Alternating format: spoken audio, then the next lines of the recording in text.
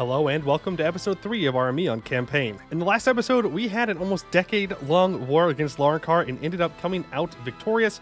We took a large chunk of uh, land up here and max money, and on top of that, we also convinced some of their vassals to rebel against them. So I think all in all, we could say that was a very, very successful war.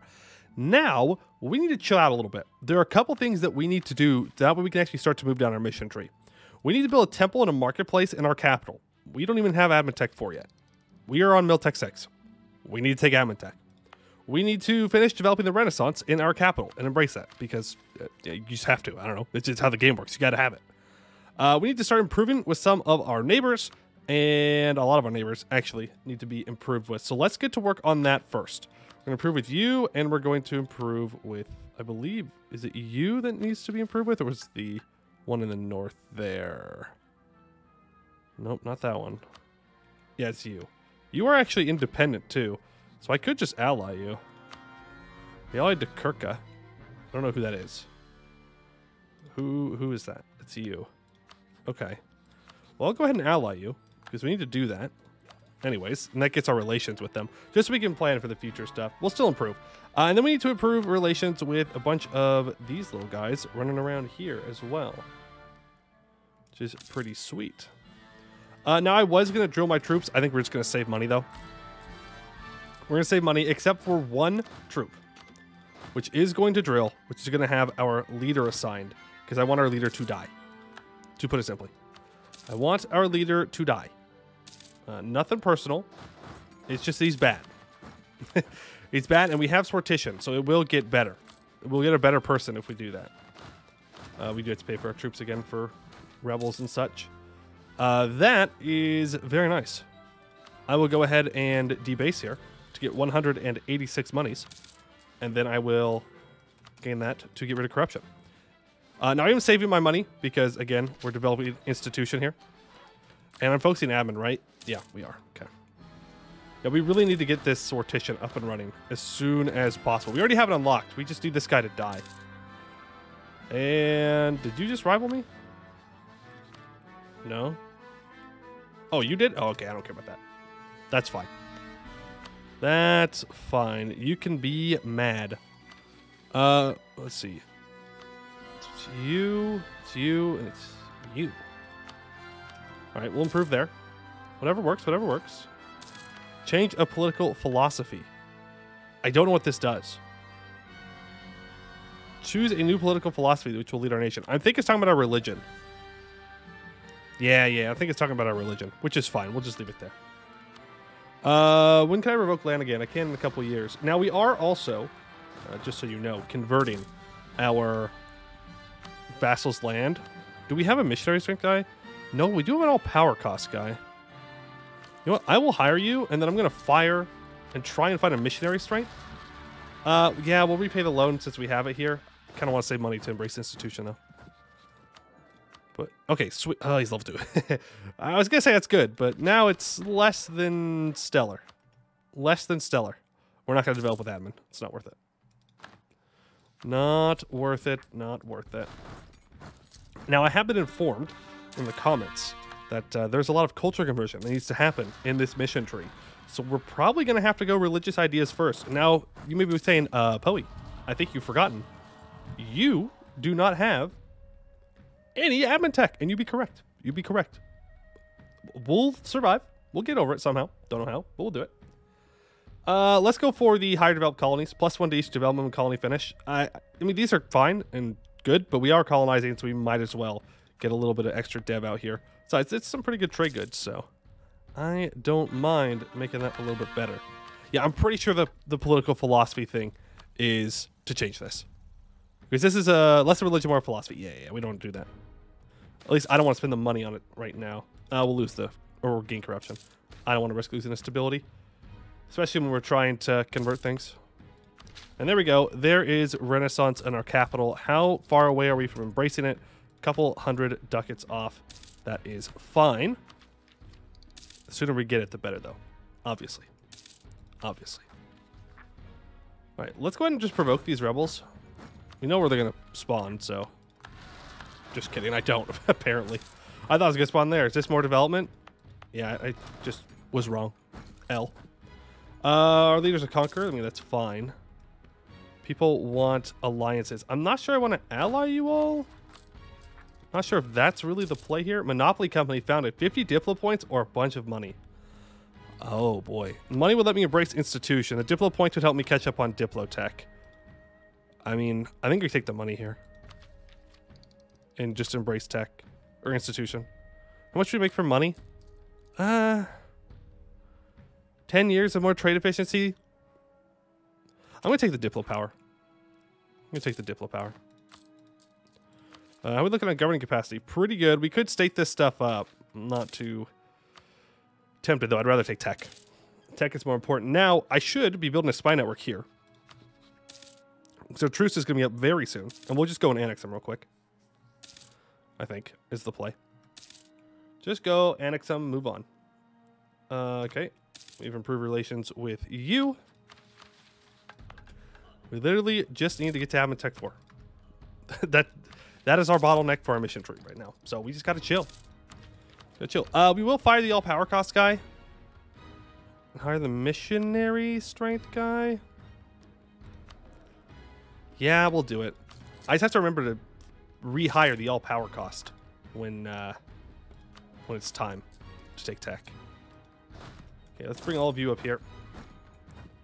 then we will go to war immediately and get this annex. Yes, it's more admin points. We'll get over it, though. We'll get over it. Uh, do I have any possible rivals? I would assume so, since I got rivaled. Yes, I do. You. Hello. Uh, would you like to get uh, scornfully insulted? Thank you. Thank you for my power projection. Now back up above 50. You'll love to see it. Oh, he already has claims. Okay. Well, I mean, I still want to get my claim. I built the spy network up, so I might as well. All right. And I think we take this. Is there any reason to hand this over to him? I mean, he will become a vassal. Ah, I mean, I suppose there's no reason not to give it over to him.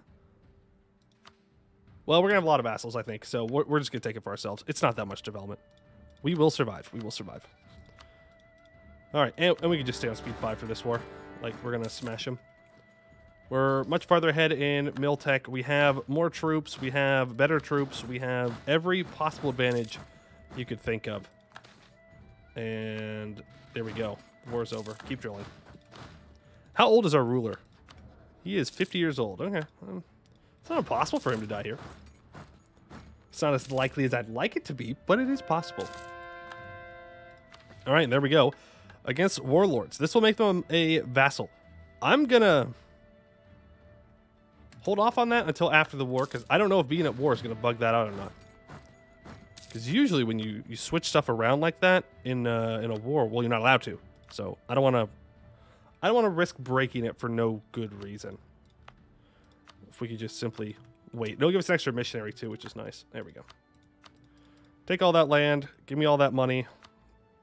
Appreciate it. Appreciate it. Uh, now, all of this, yeah, these are two culture groups. These are the same ones that we already had. I know that we need a culture group. We still might accept, but I think we're probably going to be fine for missionary strength, but that's what I'm most worried about. Um, yeah, I just want to make sure that wasn't like a random culture that we did not already have in our nation. All right, and against the warlords can be completed. As we tame the lands of Lascaris' initial foothold, we see the fruit of our labor begin to manifest already in Kurumetron. There are there, their elite gather in their capital, eager to adopt the ways of the civilized world. It shall be far easier to bring them into the fold when they speak our language, and easier to administer them when they view politics through the same lens as we do. So they become a regular vassal instead of an autonomous vassal. Uh, the Clerian becomes the primary culture, and the culture will shift. From now on, any owned Keone cultured provinces in mainland Taychend or Larankari Highlands regions will shift to Clarion and Clarion provinces receive 25% institution spread. We get first steps for 25 years, us plus one missionaries and 3% missionary strength. Okay, the Lauren Kara Highlands and Taychend areas. I mean, that's. Is it going to shift automatically here? It feels a little broken. Maybe it's like another... Oh, they must get their own special group here. Own special culture.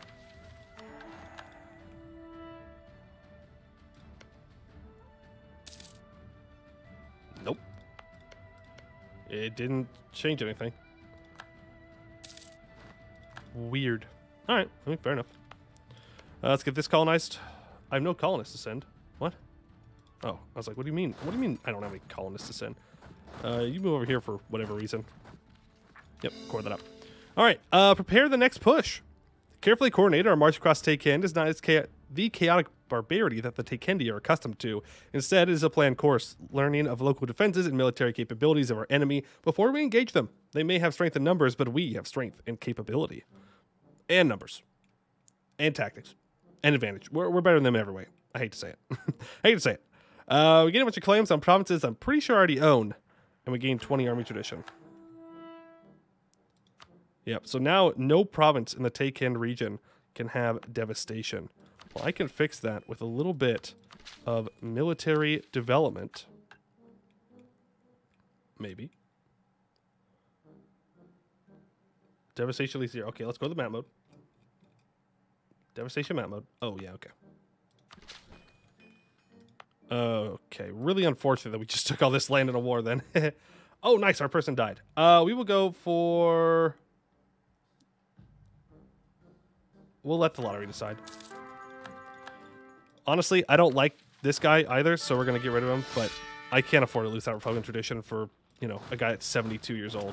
Like, the 70, the 72-year-old was absolutely better in every way, but he's 72, so why would I waste my Republican tradition on a guy that's going to die immediately anyways, you know?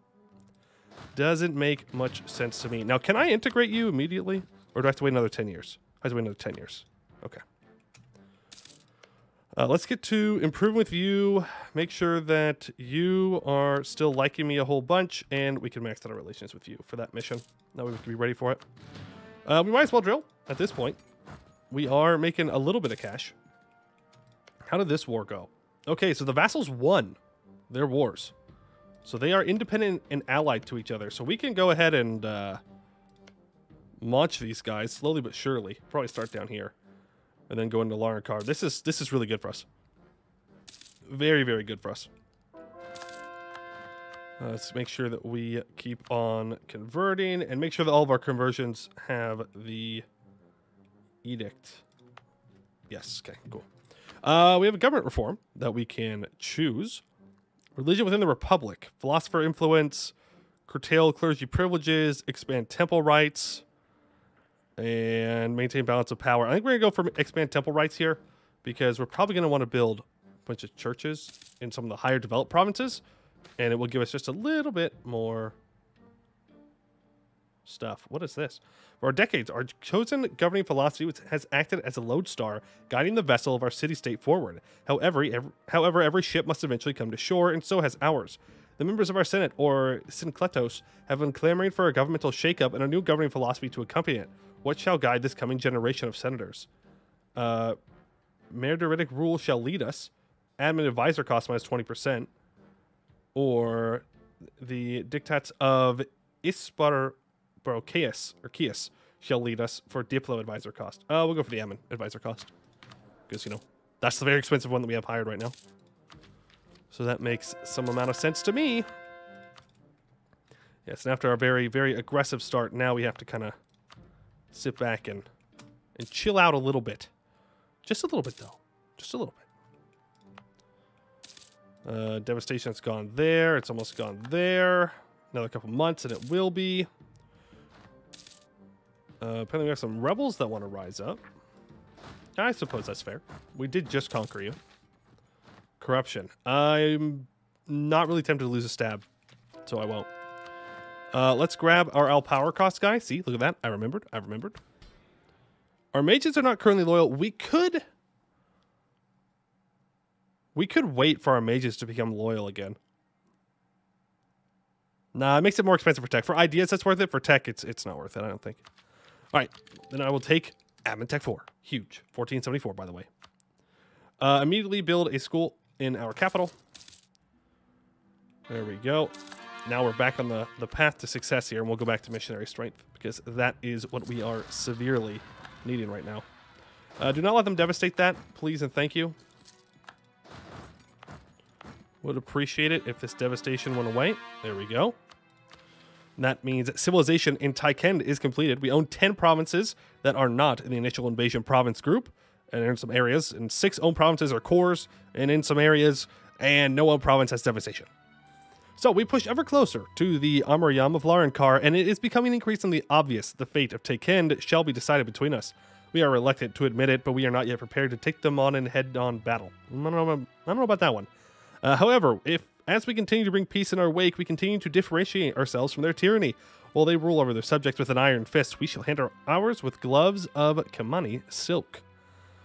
Uh, Nior Mkaos gets regional capital to the end of the game, giving minus 2 unrest, 25% local tax, minus 25% province governing cost. Paper will now be produced. I gain permanent claims on the Yan Hadpir and Thick Virstana provinces and take in region not owned by me, Larankar, or their subjects.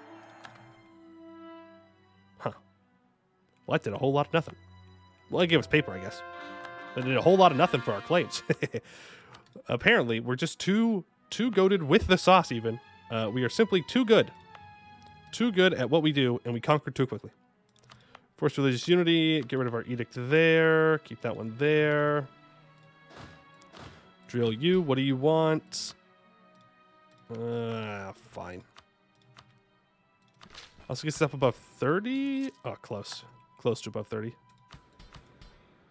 Do I want to develop up above 30 to sell titles? I mean, probably at some point. At some point, that would be a good idea, but now we're just waiting for this. And then we do other things. I don't know what's going to happen, but we're going to do stuff and, and things. Uh, we're also going to go ahead and state all this up now. I know that we're behind on tech, yes, yes, yes, but low autonomy is is good for us. All right, uh, a city for the state. While our strength is comparable, if not greater, than the true Kheions from which our ancestors hail, it is known that Ameion is not a glory- as glorious a city as the Kheions. As we seek to civilize the Taychendi, we must demonstrate the core principles of Kaonism, the place and power of the city within any civilization. Gain 200 crowns over 25 years minus 10% dev cost, 30% institution spread. All right. Uh, we have the. So this is going to do a war. Mm, okay. This is just going to give us subjugation CBs for 25 years. This is also going to give us a subjugation CB for 25 years. Uh, let's start improving with you, and let's do this one. Let's move over there, though. That way we can actually be helpful, you know? Uh, rebels, though? Uh, let's provoke these rebels before we go. That way they don't pop up in the middle of this war and cause issues. We do not want issues popping up while we're on the other side of our empire here. Are there any other valuable buildings we can build? Uh, yeah, that's definitely useful. And those are all right. All right, any of the rest of these a big deal? Yeah, but I can't provoke you, so. Oh well. Trade research is heretical. All right, that's fine. And we can start the war now because it's, it's going to take them a while to move over to. Uh, the Akate League. The Nakis were founded by the Kheions over a millennium ago for the twin purposes of finding resources for the Kheions and to create homes for those overcrowding the cities to move to. Our own origins lie in the Nakis, and we have always preferred diplomacy with them, if nothing else, due to their proximity. Uh, M. Amgramos recently found itself without a Kaon overlord due to the fall of Kimanis, and this gives us an opportunity to create an alliance between the two of us, and then a key between us, Dayan. With our leadership, the Andic Reach could become a new center of power in the Kaoni world, the Ektate League. All right, we add historical friends, they declare independence, and we join their wars. There we go. All right, let's move our guys on over. This does put us at war with, uh, well, pretty much all of them.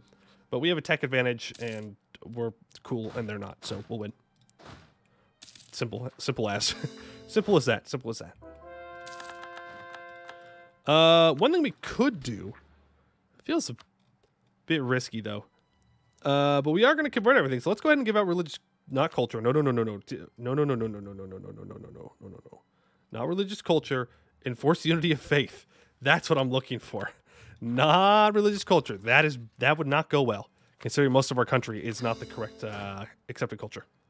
That would not go well at all. In fact, I would be bold enough to say it would go poorly, very poorly. Uh, but the extra missionary strength, that I'm fine with, since we have to convert it all anyways. All right. Uh, all right. Let's move on in here. We will send our mercs. Let's hire another general. All right. It's not great, but he's got a siege pip for us. Send our mercs onto the siege to help out. Uh, I don't think we should bring our navy around. We probably don't have any naval superiority. And it's not really worth losing our boats over. Now, the unfortunate thing about this war, the AI is in charge of it. So I have no control over the peace deal. Yeah. That's a problem. That's a that's a problem. Do that.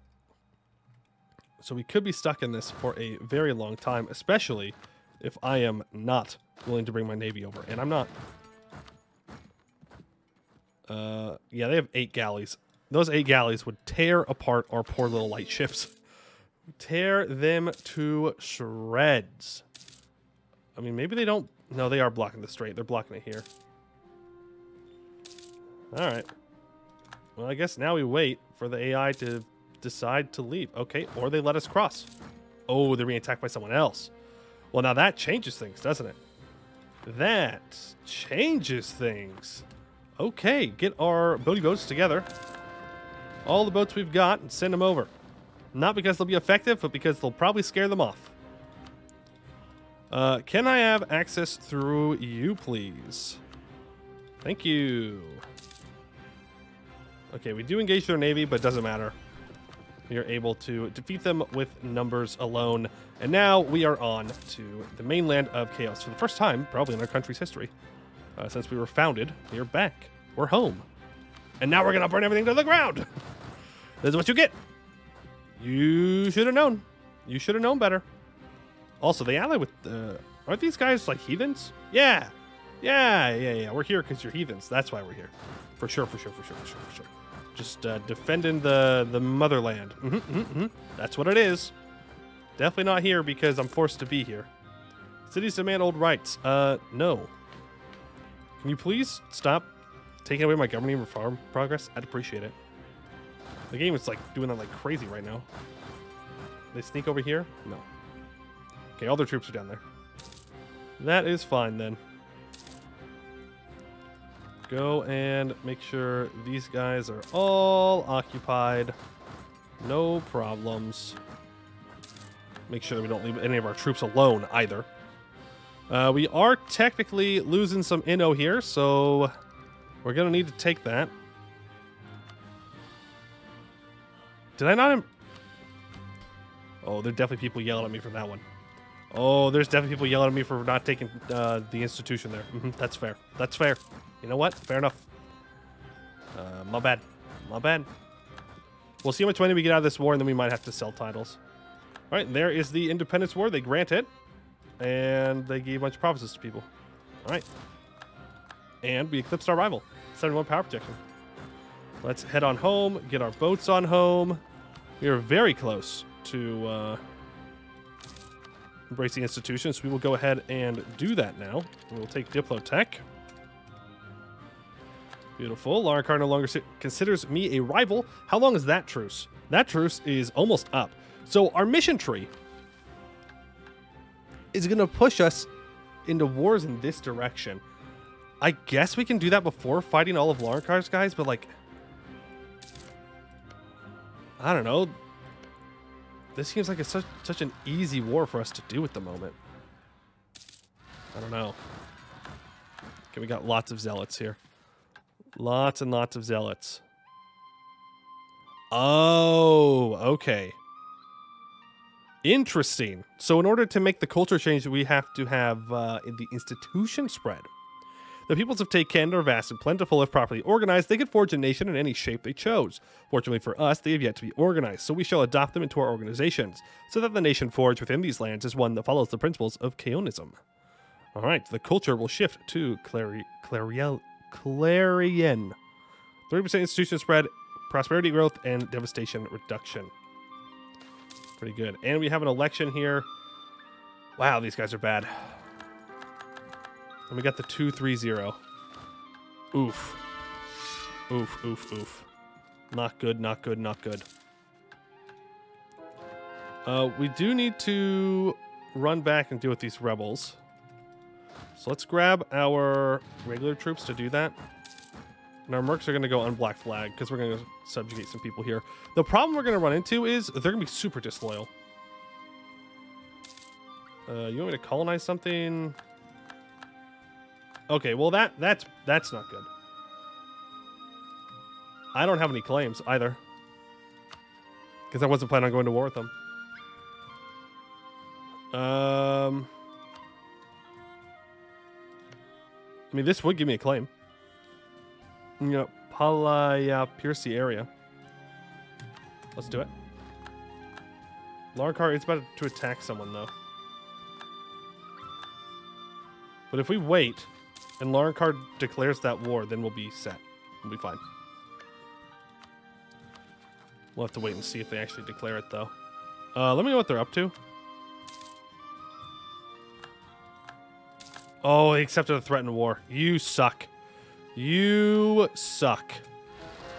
Well, that could complicate things. Oh, that troop's very dead.